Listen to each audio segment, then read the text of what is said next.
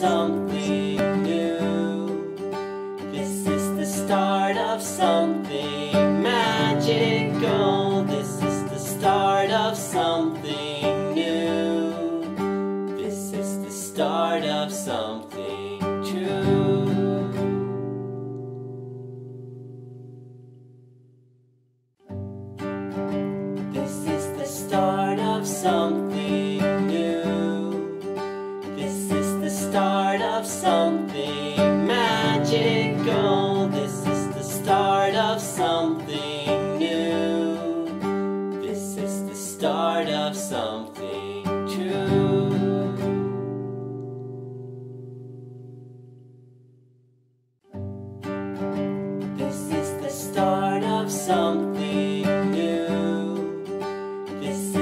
start of something magical. This is the start of something new. This is the start. Can you make it go away? We start. Okay. Hello, everybody. Hey, everybody. Welcome to another live stream. Let us know if you can hear us well and, of course, where you're watching us from. Today, it's a special episode because we're going to talk about the Matrix. Yeah, what is the Matrix? We often talk about the Matrix, especially, you know, the people who are kind of going down the rabbit hole and waking up to what's going on in the world. We tend to talk about the Matrix as in almost referring to society as the Matrix. And we talk about leaving the Matrix or escaping it. And we want to talk about that with from from our perspective, how Mm. actually we can't really escape the Matrix, and we want to want to share with you our perspective to what it even is Yeah, and how we can deal with it. yeah. Hello, Alona. Nice to Hey, have you Good to have you with us. I wonder if you guys who are watching us ever feel like you're Neo in the Matrix. If you know the movie The Matrix, you probably do. Yeah. You know, um, And if you can relate to this, like when you know something and you look around, it seems like nobody is aware of that. right. Yeah. And when you start sharing or you expose that you know, people turn to you like you're you're a crazy. traitor, that you're crazy, kind of like in the Matrix, you know, people are turning to look at you, look at Neo. And it's also that, you know, feeling of you suddenly woke up to a horrible reality. You suddenly see things. Like he wakes up in that, you know, place controlled by AI. And it Mhm. can feel that way when you begin to see, you know, putting together one plus one and seeing what's happening all around the world and nobody sees it. Yeah. You know, it can really feel that way. Nice. Um, Zaizun, Zaikix. I can't say your name, but welcome from New Zealand. And uh, if you feel like helping us promoting this video, just give it like, and that will make uh, uh, YouTube algorithm suggested to more of our YouTube community. And get ready to dive with us the rabbit hole. Ah, okay. Yeah.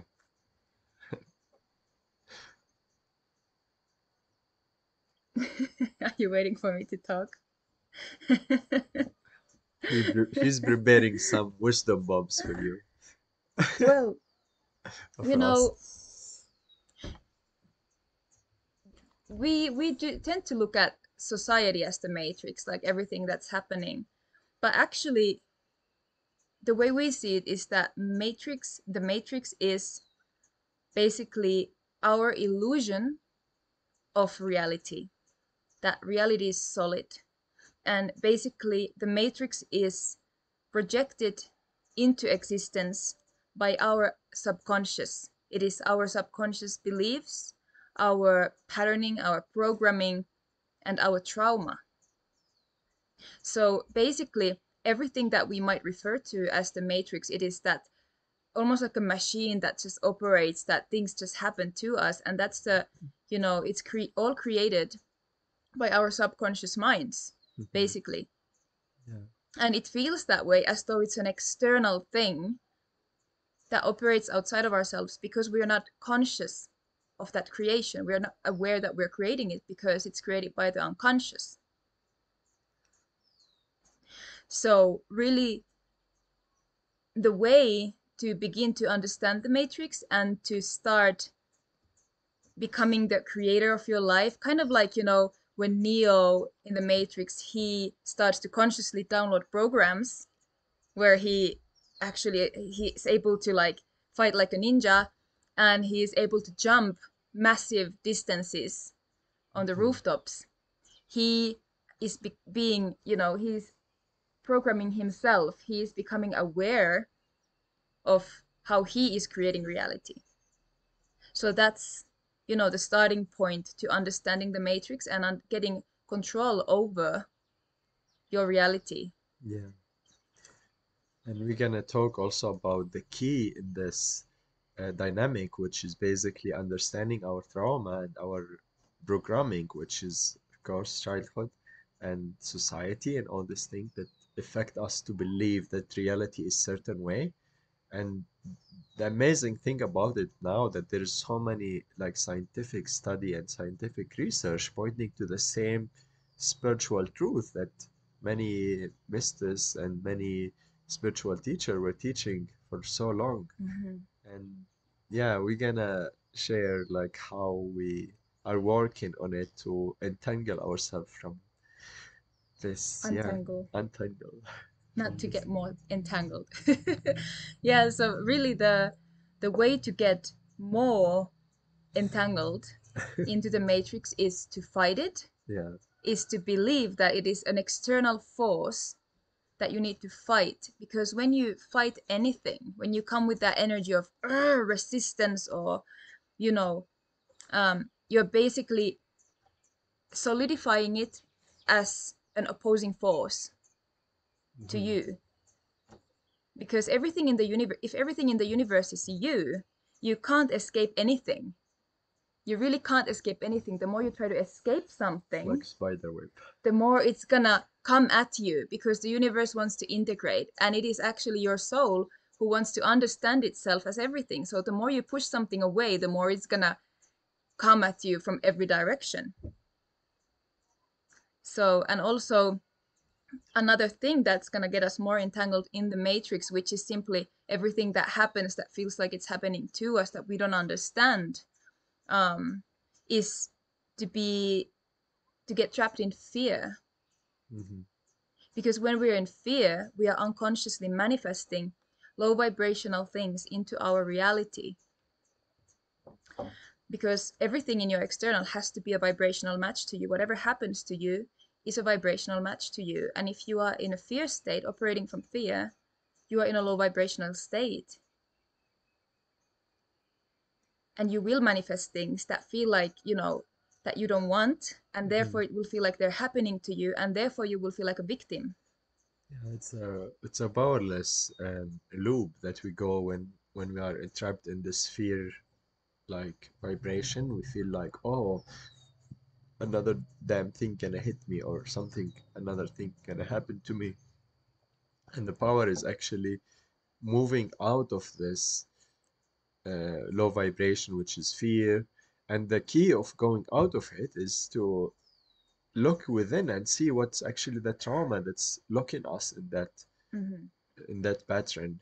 right so Yeah. matrix really lives inside of us the matrix is not outside of us the matrix is our own programming that we mm. need to dissolve because that programming is what is creating the external reflection of that. For example if we see authority in the external it's kind of like the agents of the matrix right? Yeah. authority. And we think we have to fight the authority. That is simply us believing that there is external authority to us. As if that's even a valid concept. You know what? It isn't external authority is not a valid concept in the universe it's an invention by humans who want to have control over others Hmm. so then the key in in that example in dissolving that part of the matrix is to deal with the programming within you that believes that you are smaller than others, that someone can have power over you, that you are not powerful. And Mm. as you dissolve that programming, you remember that, whoa, I'm the creator here, I'm infinitely powerful, and I'm sovereign. No one can have power over me. And that reflection in the external begins to dissolve. Yeah. Of course, the external matrix is a co-creation as well. That's another, you know, tricky part of the equation. Um, where yes, we create our own reality, and at the same time, we are co-creating this earthly reality. Yeah. And by the way, if you have any question, let us know in the comment. Yeah. Gentle Earth, thank you for the reminder. Thank you for being here again. You were here last time as well.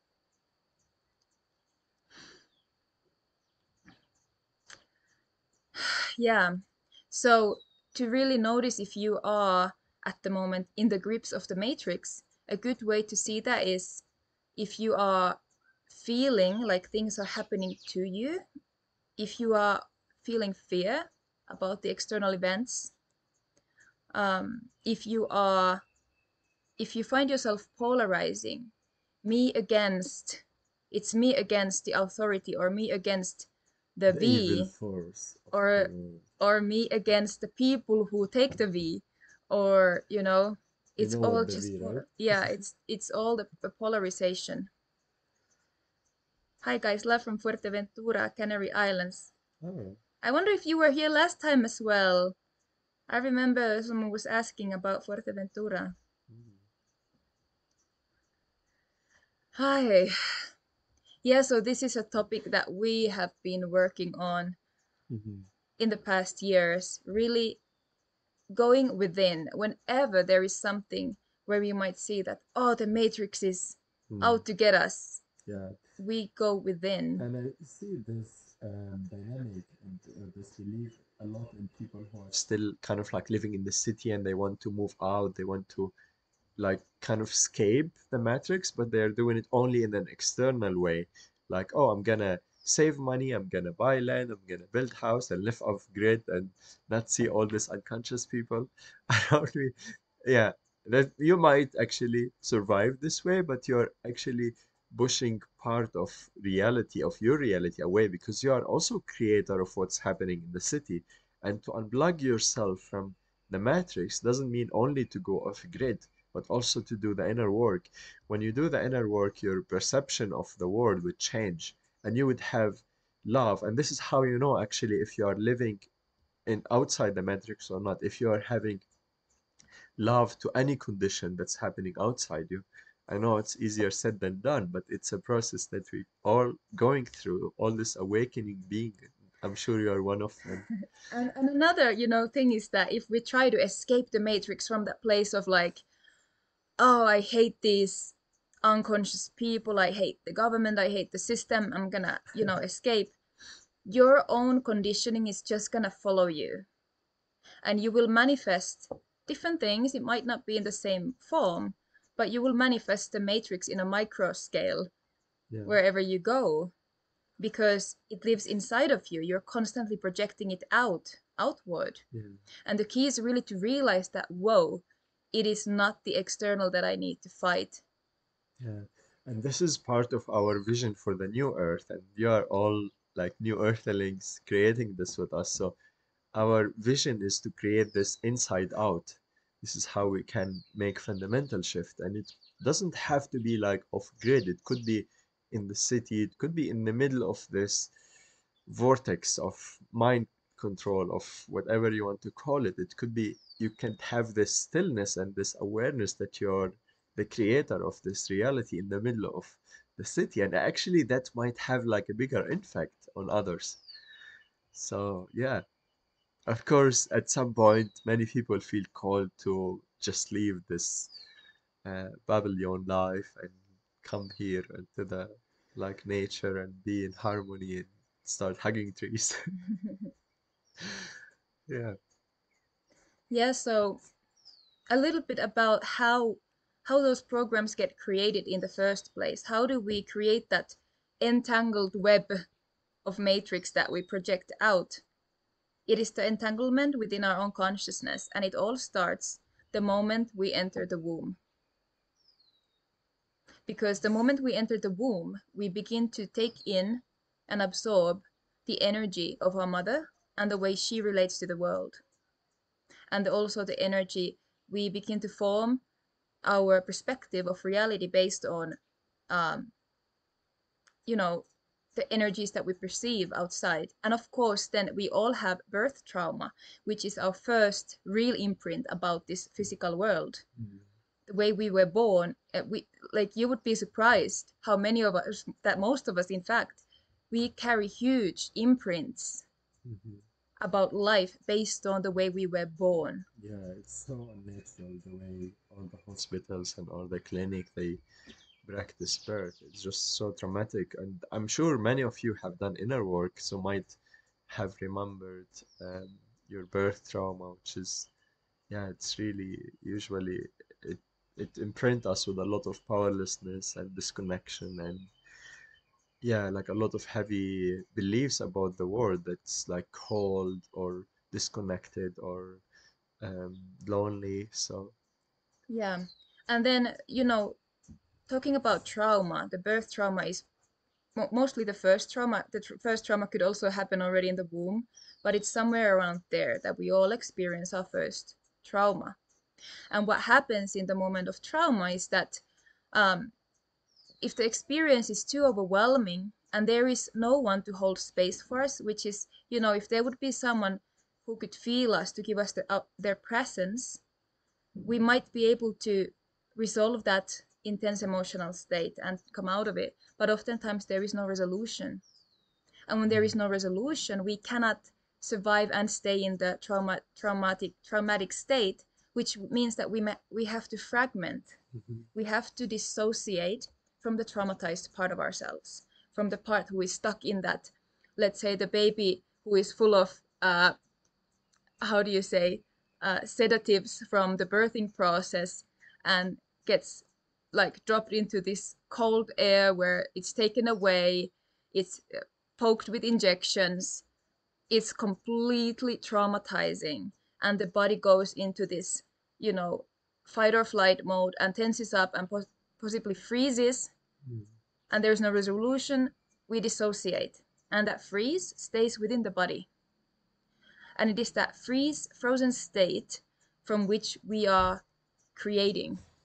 Part of our consciousness is still creating creating more scenarios that bring up that freeze state to, to be resolved.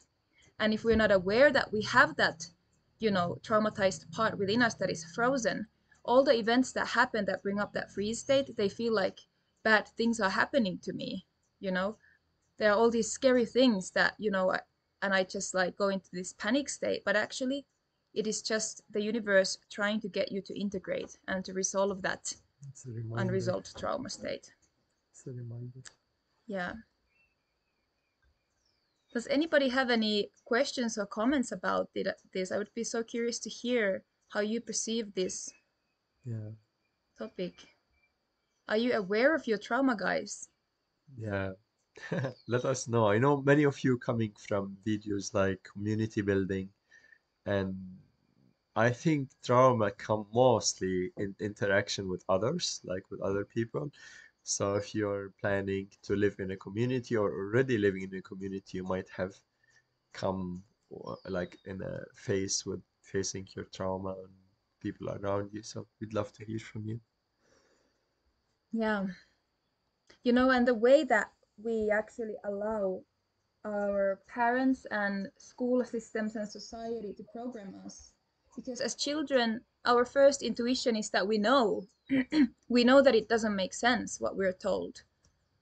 We know that we are not just little boys and girls, you know, with a name. We know, we feel ourselves as much bigger, much larger than that. And we know when things don't make sense. But because of the threat of punishment and disconnection, and this is the most, that this is where they have us. This is where we allow ourselves to be programmed because we desperately want to belong and to be loved and to have connection. Because disconnection is the most painful thing in this universe to be mm-hmm. away from unity. So, in order to, you know, we are grasping on to that unity as children, wanting to be united. So, we accept the programming. Because the other option would be if we refuse the program, we would face disconnection. We're punished by dis- disconnection Mm. from our parents, from the school system, later our friends, bosses, you know. So that's our, let's say, that's our Achilles heel as humanity, as humans, is our need and desire for unity and connection. So if someone can threaten us by isolating us, by disconnecting from us, we quite quickly abandon ourselves to have that, to mm. keep that connection. Okay, so someone is commenting here. Ravel, before birth trauma also exists, such as from previous lives. Oh, yeah, previous incarnations, where an enormously vast number of individuals were have been killed in slaughterhouses in war as hunted, eaten alive. Oh, absolutely, yeah. I was referring to the trauma we experience in this life, but you're right. We do, in fact, um, have a lot of Mm, Carry on. traumatic imprints on a on a deep level. Do we always attract people and situations and things that trigger aspects that we are ready to integrate? I think so. I would say so. And you know what? if we resist, we might feel that we are not ready to integrate it and we might push it away and push it away and push it away. And it doesn't mean that we get away with it just because we think we are not ready. That's why, you know, shitty things happen that we might judge as shitty, such as getting a cancer, because we pushed away the emotion for so long. and we had every chance to integrate it and we didn't because maybe we didn't feel ready but we still don't escape it just because we don't feel ready. It's mm-hmm. gonna you know come biting us in the ass because and it's not a punishment really it's not a punishment. It is that we our higher selves want to integrate. This is what we wanted for this life. We said i want to integrate that thing.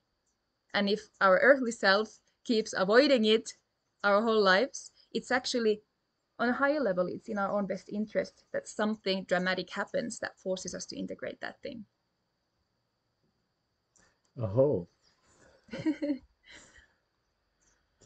Oh.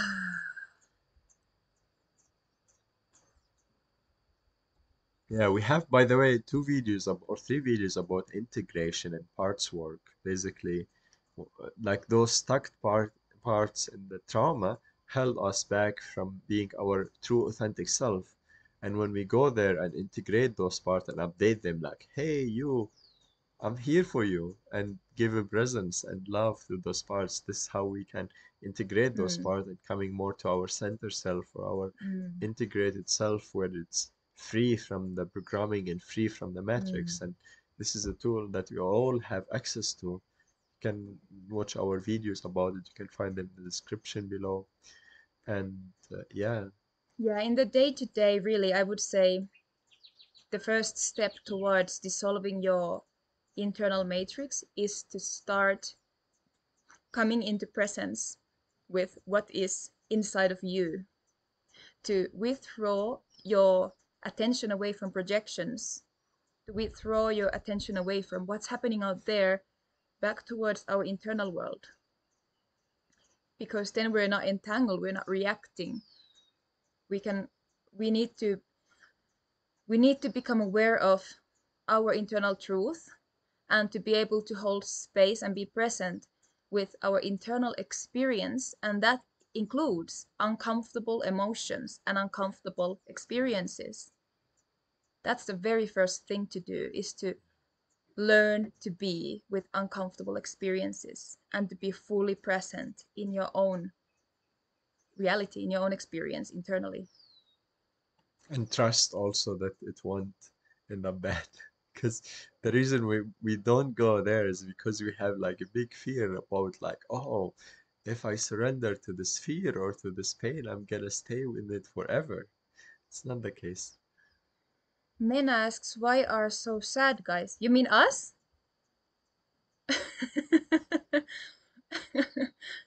I do have sadness in me actually, and I did um, have some sadness this morning.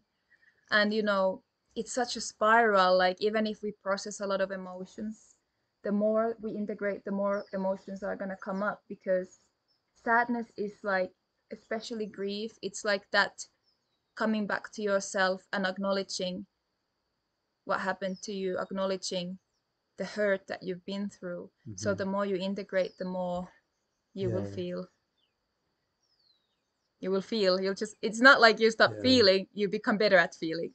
Yeah, exactly. And there is nothing wrong with sadness. Like we we don't want to like send this image that you are always happy and light and yeah. all this like bypassing um, that many actually spiritual teacher and spiritual awakening being Mm, put out this image that we are always happy. It's not the case. And if we are true to ourselves, like what's happening to the world, like I personally feel a lot of sadness of everything happening around us, all the suppression, all the um, misleading information that we are faced with, all the people who are getting like sick for not having access to real information. Of course, I would feel sadness for that. And Mm, I think that's part of our human experience to be real and to feel the sadness and to feel the love and to feel the mm, grief and to yeah, so yeah, you might pick up on sadness, but also important for you, I think Mina brought the question to look also within you if you feel the sadness in other, do you also feel sad? Do you mhm, also feel grief? Do you also feel maybe hurt of what's happening in the world? mhm. Yeah, Yeah. what's happening to the animals, what's happening to other brothers and sisters around this world. So yeah, Yeah. So quite quite often when we see things in others, it can actually be a projection of. Yes, it may may be in them, but it may also be what we are projecting out because we don't want to feel it within ourselves. mhm, because for example right now i feel also peace i feel also love and mm, i feel sad yeah. so It's it's a process to hold things to hold emotion for to hold space for all this emotion within us because it's not just like, oh, I'm happy now. There is like so many inner children. So if you become aware of them, you'll see how much rainbows you have Hmm. inside you.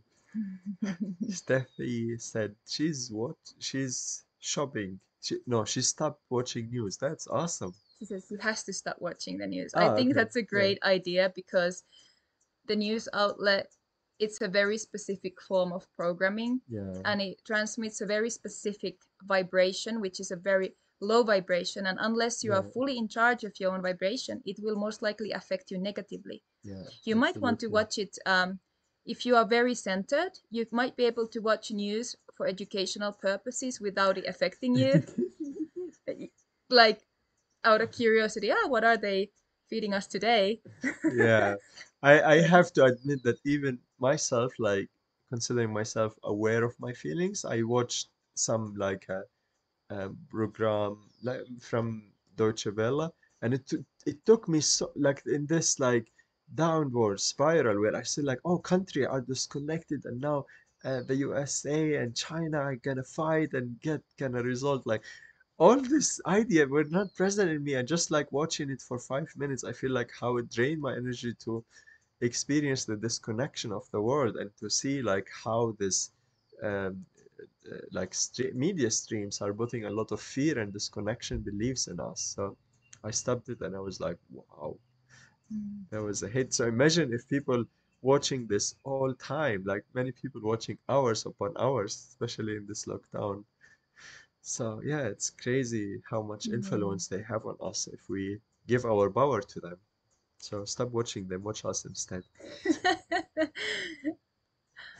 gentle earth saying grieving as well yeah yeah thank you for being willing to feel Yeah, exactly. because that's the way we're gonna dissolve this this mess really uh, the external mess that we've created is that we begin to feel we're willing to feel and then act from a place of integrity with what we feel And then, like when we face, when integrate the sadness, there's like a lot of openness, a lot of joy, like real joy coming Mm. up. It's not like, oh, I, I don't want to feel sad. I push it away, suppress it, and then I feel like, ah, I'm joyful. That's a Mm. fake joy. And you can, like, Mm. if you are empathic, you can feel people when they are like representing this fake feelings outside there. So, yeah, integration, love all your emotions. And let us know if you have any other question before we close the chat and the live stream today. Was fun to We could have. stay here for hours, but we've been here for half an hour now, and I think that's um, Yeah. that's that's long enough for today. And uh, if you like join our uh, um, uh, if you like to join us in our next group session, we are having uh, the Conscious Manifestor again and the next topic about uh, financial abundance, like how to resolve resistance to anything that holding you back. So check it out. It's in the description below. And Yeah, thank you so much for watching us and hopping in. And uh, you can still write your comments even after this, yeah, and we will uh, read them all and try to answer as well. yeah. Love you guys. Thank you for joining today. Yeah, so much love to you.